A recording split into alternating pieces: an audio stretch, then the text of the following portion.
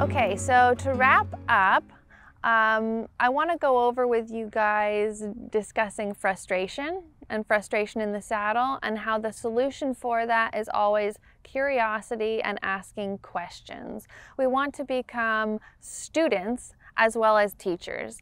And keeping this really neutral, inquisitive mindset keeps us excited about the sport, even when we're feeling like we're out of answers. It keeps us searching for something. I know it keeps me up at night, Googling things on my phone, um, looking for a way to do things better, looking for a way to be better for my horse, um, to excite my horse, to get my horse interested again. And it really, I think, leads us into becoming more independent as well. Um, I, even as an Olympian, as a top level rider, I still take lessons on a very regular weekly basis, multiple times a week if I can. I like to get instruction, I like to have feedback, and even some of my clients who are in regular programs maybe don't find themselves riding on their own very often. It's maybe something they don't feel confident in doing. And I would encourage you to find that time to be by yourself with your horse because I think without your own voice in your ear rather than your coach's voice in your ear, you tend to listen more than you tend to ask questions. So you might find that that time you spend by yourself leads you to have questions that you can ask your trainer during your next session or questions that you can write down that you can do some research on and start to find solutions to your own problems. Now, remember, those solutions might not be the right one for you or the right one for your horse, but giving it a try, and as long as you approach it in a fair way, if it doesn't work out or if you feel your horse didn't respond properly, you go back to that drawing board, you make another note, you try try another solution. The horses will let you try and will let you learn all day long.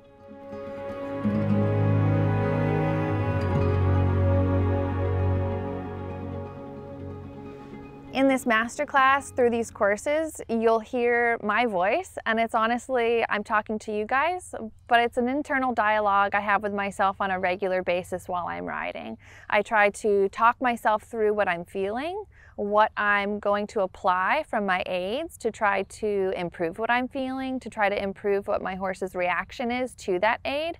And I try to be extremely deliberate with what I do so that I have a plan of action if that goes exactly as planned. And if it goes off course, how am I going to react before I ever touch my horse with my leg, touch my horse with my rein, touch the horse with the whip or the spur? I want to have that self-control where I pause and I have a plan versus reacting because our reactions initially tend to be super emotional. So if a horse kicks out at my leg or they, they get angry when I touch them with the whip, I want to already have talked to myself about that reaction. So if it happens, when it happens, I'm not surprised. I wait for the reaction of the horse, the emotional reaction of the horse to pass. And when the horse is reasonable in a way in his mind where he can accept another question, I will pose that question again. Um, it just keeps me really focused on task and lets the horses also um, express their feelings in a way where they don't feel like they're not allowed to also be independent creatures.